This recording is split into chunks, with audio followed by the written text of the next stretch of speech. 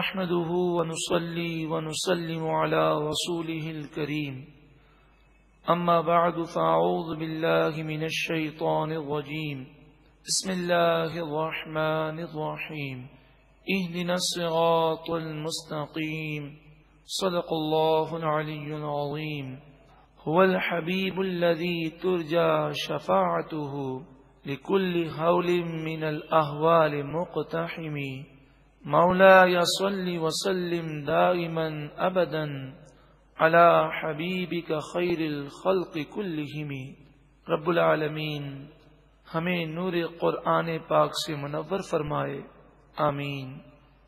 सूर बकरा की फजीलत में हज़रत इमाम नसाई रहमा हदीस पाक लिखते हैं, नबी करीम सल्लल्लाहु अलैहि वसल्लम ने इशाद फरमाया जिस घर में सूर्य बकरा शरीफ पड़ी जाए, उस घर से जिन्नात और शयातीन भाग जाते हैं। मोहतसिन फरमाते हैं कि जिसे अपने घर में जिन्नात का साया महसूस हो आसेब या लड़ाई झगड़ों की कैफियात बहुत ज़्यादा महसूस हो तो उसे चाहिए कि हर तीन दिन के बाद एक मरतबा सूर्य बकरा पढ़ लिया करे। यानी हफ़्ते में दो मरतबा। हर तीन दिन के बाद एक मरतबा सूर्य बकरा शरीफ पढ़ लें इन ताला घर में सुकून, चैन इतमान आ जाएगा।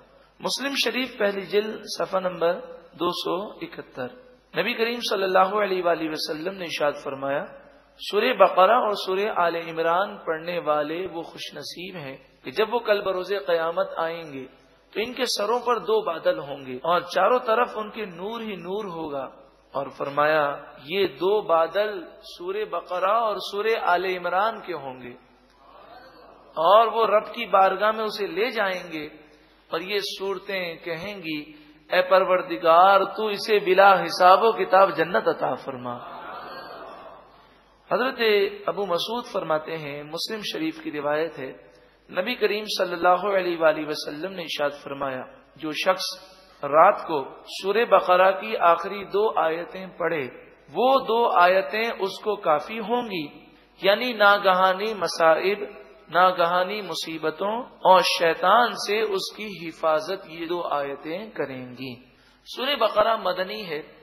मदनी के माना है, हिजरत के बाद इस सूर्य मुबारका का नजूल हुआ। और ये याद रखिएगा कि इस सूर्य मुबारका का नजूल इस तरह नहीं हुआ कि एक साथ ये पूरी सूरत नाजिल हो गई। कभी एक आयतें, कभी दो आयतें, कभी तीन आयतें। और तकरीबन दस साल तक ये मुसलसल नाजिल होती रही। और इस दौरान दूसरी सूरतें भी नाजिल होती रही। अब यू अंदाज़ा लगाइए कि सूर फातिहा कुरान पाक की तरतीब के एतबार से एक नंबर है।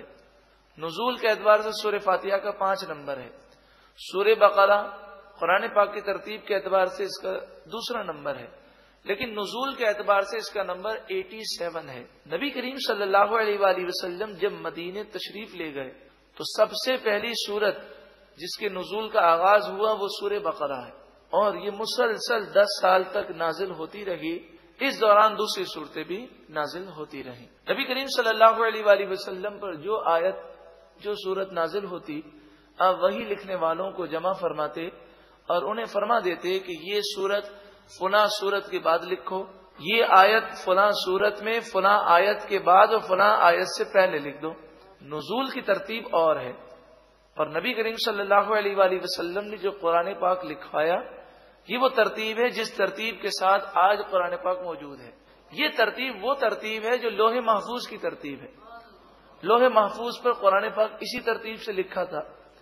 और नबी करीम सल्लल्लाहु अलैहि वसल्लम को अल्लाह ताला ने वो निगाह अता फरमाई कि जब भी कोई आयत नाजिल होती, आप लोहे महफूज पर देख कर साहब कराम को फरमा देते कि इस आयत को फला सूरत में, फला आयत के बाद लिखो।